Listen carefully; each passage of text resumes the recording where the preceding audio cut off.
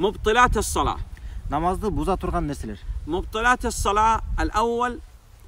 الحركة الكثيرة المتوالية عرفا لغير حاجة يعني تحرك حركة كثيرة وتراه تظن غير مصلي من كثر ما يتحرك. خلاص؟ وأيضا هذه الحركة لا حاجة لها. биринчи намазды буза турган нерсе кажетсиз эле эч кандай пайдасы кажетсиз эле адам эки жакка карап кыймылдай берүү көп кыймыл кылуу муну сырттан адам караса деген муну намаз окубайт деп ойлошу мүмкүн ошончолук ошондой ойлогудай сыяктуу болгондо көп кыймылга аракет кылуу кажети жок харака биринчи эмне кыймыл аракеттер касира? Аябай көп болуш керек көп. Мунфасила жана муну биринин артынан бири ушундай тартиби мындай аралап ушундай токтолбой эле кыла берген амалдар ошо намазда болгон ошондой кыймыл аракеттер لغير حاجة эч кандай бир кажетсиз نعم الثاني الكلام أن يتكلم في الصلاة экинчи бул намаздын ичинде болгон сөздөр намаздын ичинен сүйлөнсө сүйлөсө متعمد يتعمد الكلام في الصلاة бул ошондой ниети менен атайлап эгерде сүйлөнгөн болсо намазда وهو يعلم تحريم الكلام في الصلاة ал билип туруп ошол намазда арам сүйлөө арам экенин билип туруп анан сүйлөбөйген болсо نعم وكان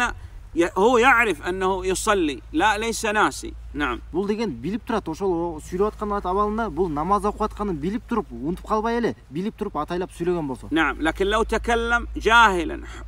تحريم الكلام في الصلاة فصلاته صحيحة бирок эгерде намазда сүйлөгөн бул а- арам экенин билбей билбеген абалда муну окуу намазында сүйлөп алган болсо бул намазы кабыл болот бузбайт намаз تكلم ناسيا الصلاة صحيحة же болбосо на- намазда экенин унутуп калып адам сүйлөбөгөн болсо намазы кабыл болот نعم من مبطلات الصلاة الضحك الأكل الشرب жана ошондой эле намазды буза турган нерсе бул биринчиден күлүп жиберүү же болбосо бир нерсе же же- жеш- же- же- жеген болсо же бир нерсе ичкен болсо نعم الانحراف عن القبلة ينحرف هذا الاتجاه وهذا الاتجاه عن القبلة ошондой эле намаздан жүзүн буруп салуу же бул оң жакка катуу аябай буруп салган болсо же сол жакка буруп салган болсо бул намазды бузат نعم انكشاف العورة خاصة من يصلي في البنطال تنكشف العورة إما عند الركوع أو عند السجود ошондой эле бул э, авраты ачылып кетүү өзгөчө жана үстүңкү а, кийим кыска кийимди кийип алган болсо арткы арткы жагы бели белинин асты ачылып калат бул ачылып калган болсо бул дагы намазды бузат نعم كذلك انتقاض الطهارة إذا خرج منه ريح مثلا